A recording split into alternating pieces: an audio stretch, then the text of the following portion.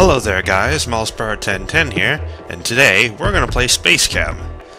Because of, you know, like I already said, I've got a lack of the ability to play anything else all that reliably. Oh, whoops.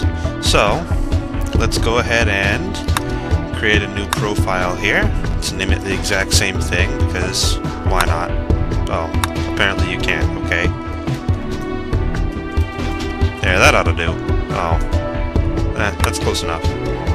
Oh, except... Oh, well, just forget it. Let's see. Start game. Of pancakes and spaceships. So... Here we have a bunch of explanation. I'm to skip it because I already know how to play the game. At least, somewhat. Okay. So these start points here, these things are called Waldos. They run commands and these the red and blue lines they follow along this path and you drop the commands from this bar down here onto these to create commands that they execute. So like it says here this is an instruction which executes when matching when the matching Waldo passes over it. This instruction accepts a molecule into the reactor placing place a matching instruction in the highlighted sphere. Okay why not this instruction causes the Waldo to attach and release atoms. This will pick up the newly accepted molecule. I'm gonna make it a grab only. Oh. Okay, apparently it didn't want me to do that. This instruction redirects the Waldo to move in a new direction. Done. Each square can contain one arrow and one non-arrow. This instruction causes the Waldo to rotate, it is entirely unnecessary in this example. Waldos stop moving when they collide with the side of reactor. If an atom collides with another atom or the side of the reactor, the simulation will be stopped. This instruction will cause the attached molecule to be released. This will drop the molecule into the psi output zone. Oh yes, and then we have to tell the psi output zone to output. And then we can go down here to the uh, to uh, whatever they call this. I guess just the play button bar. In, grab, very slowly now. Rotate, which does absolutely nothing. Because if you've ever taken chemistry, the orientation of an atom doesn't make a difference for a molecule. Drop, out, and back to start. A little bit faster now. Bit faster now. A little bit faster now. And there we go. Assignment complete. Pretty easy, considering the game told us exactly what to do. Slightly different. Okay, let's see exactly how different it is. Um, more explanation that I don't care about. Okay, to solve this puzzle we will use the blue Waldo, which behaves identically to the red Waldo, but executes only blue instructions. Creates a blue beta input, drop a red alpha input, instruction right click. Oh, yeah, see, I never... There, there we go. Oh, switch it to B. Press tab to switch to blue commands down here.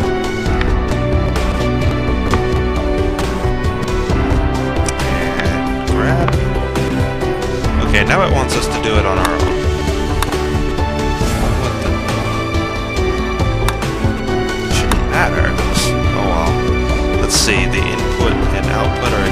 Same, so this reaction app does absolutely nothing.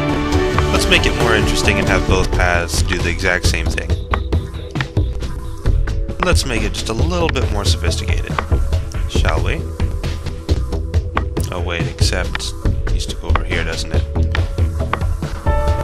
Let's see. Blue one, do the exact same thing. Oops. Yeah, clicking outside the window is going to be a problem for me because my computer really can't run this full screen. It has to do it miniaturized. Let's see. Well, not miniaturized, but not in full screen. Okay. Tell the red one to grab only. Um, oh. Might help if we told it to input B. Grab. Come over here. Drop. Output.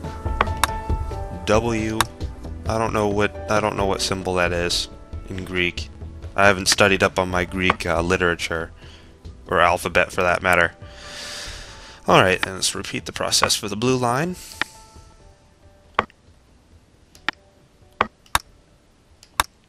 And sync. Now what the sync button does, as you'll find in a minute here... Oh, what did I do? We don't need this one. As you'll find is, uh... Actually, here, let's put the red one in front. That way they'll alternate. Uh, both Waldos will start, and the red one will stop here at this sync, because it, it waits for the blue one to also hit a sync node. And then when they when they're both at the sync node, they both start moving together.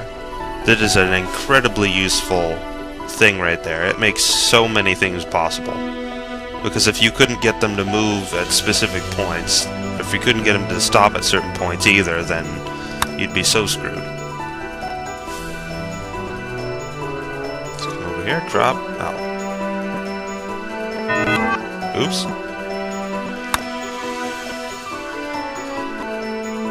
Look what I did. Hmm. Apparently that does not work.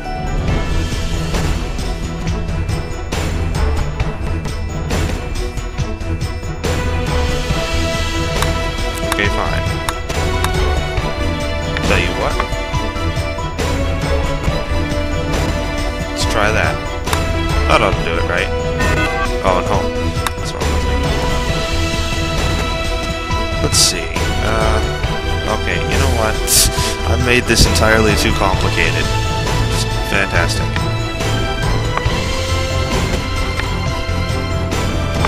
There we go. Oh my goodness, now it's gonna give me a hard time. Look at this, I took one of the easiest puzzles and made it difficult. That is just awesome. Okay, let's move the start point then. Separate these things up a bit. Oh. Didn't like me, doesn't like me messing with the blue one at all. Oop.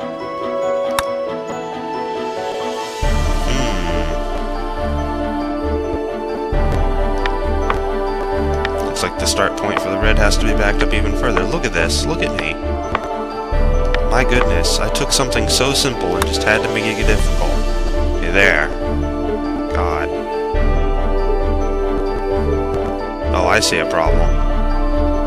They're not moving at the same rates anymore, so eventually they'll collide. That's funny. Oh yeah. Dang it.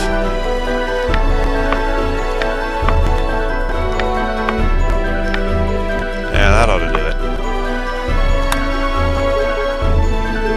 There we go, now they're moving at the same rate.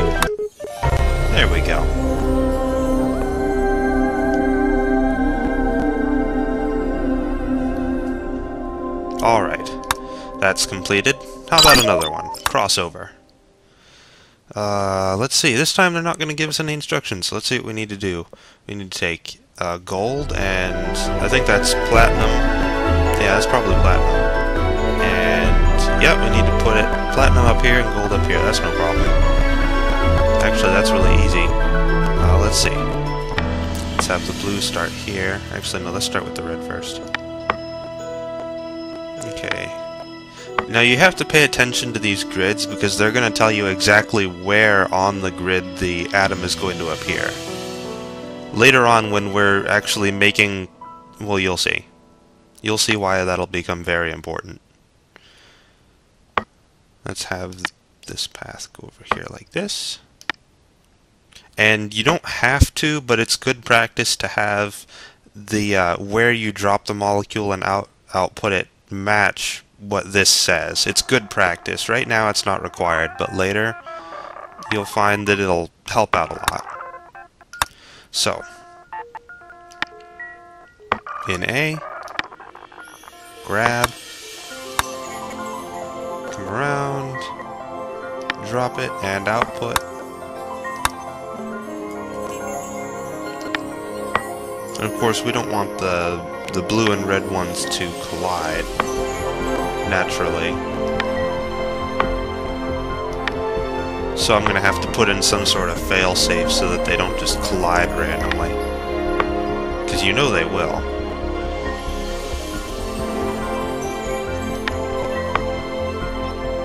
Okay, I have an idea. let's use our handy dandy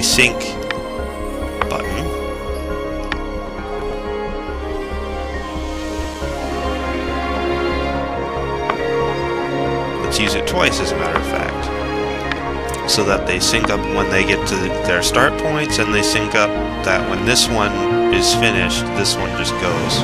I think that'll work nicely. Okay, so it's gonna go... Oh, look what I did.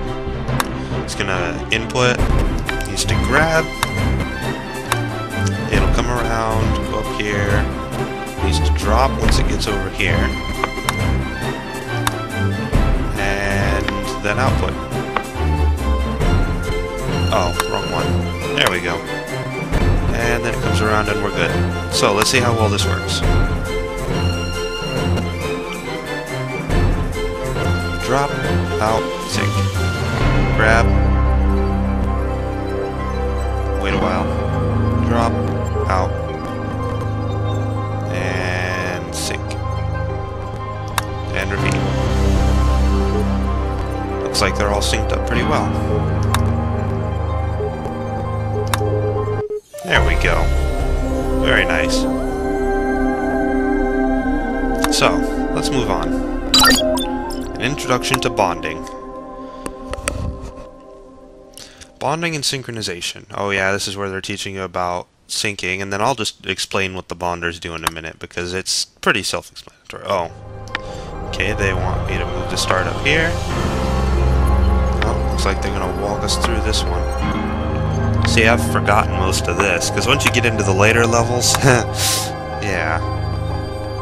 I've forgotten the solutions to these puzzles because it's it's really just you know, once you uh once you get to a certain point, you're not really focused on what you've done in the past and your solutions will start to become incredibly complex, so yeah. Now, we need a bonder there need a bonder there. Now it's going to have a sync. and it's going to have a sync.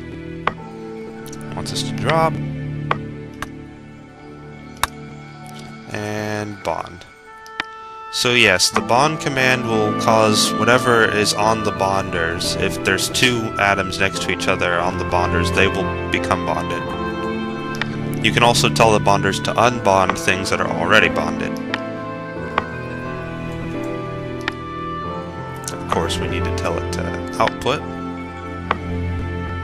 No, we're going to drop it right on that bonder there. I like to move those out of the way. Ones that I don't use, I throw in a corner. Okay. And if the program told, I mean, if the uh, game told us to do it right, that should work just fine. Looks like it.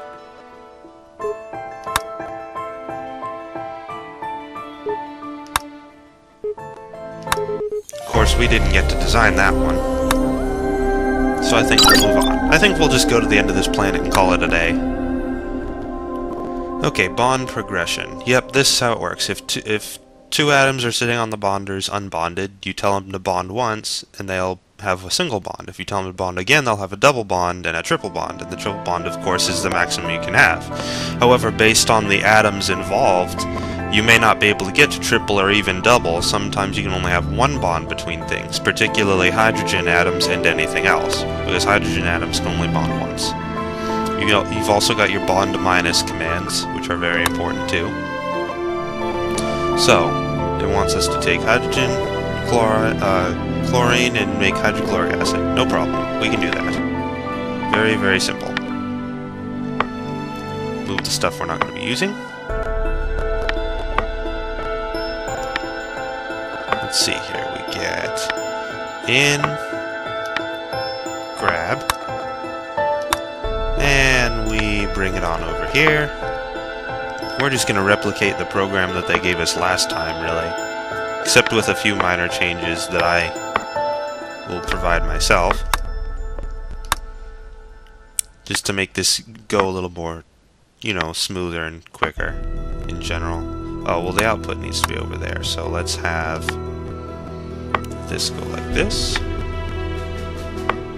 And because when here, well, you'll see how I'm gonna do it. Let's see. Blue one has to have sync right here.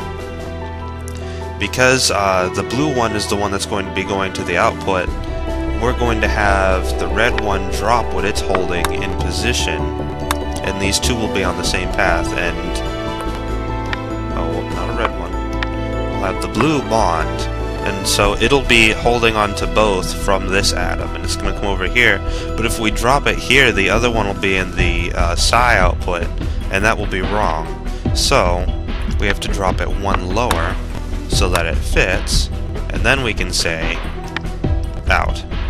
And then it comes over, starts over. Should be fine. Bam. Drop, out, that's one.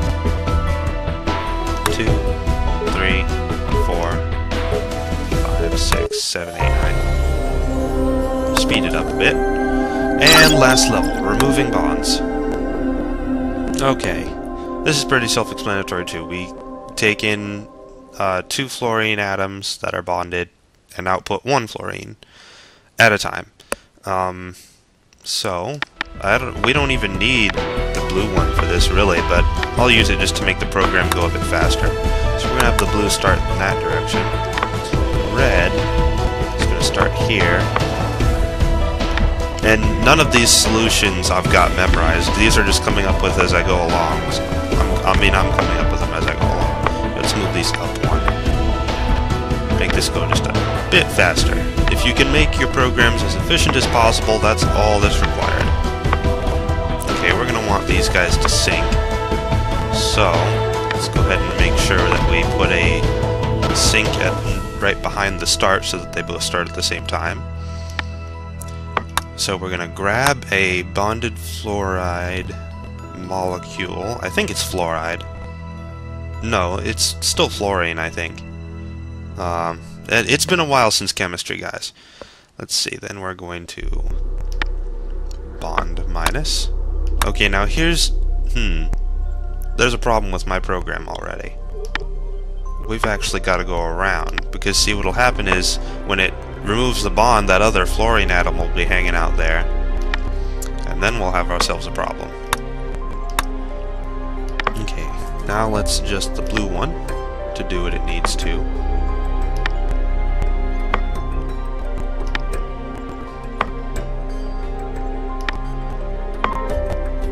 Don't forget to put our sync there so that they know to start at the same time. Oh, wait. Mm-hmm. Yep, look at this. The red one needs to tell the blue one when to go. Namely, we should have it like this, actually.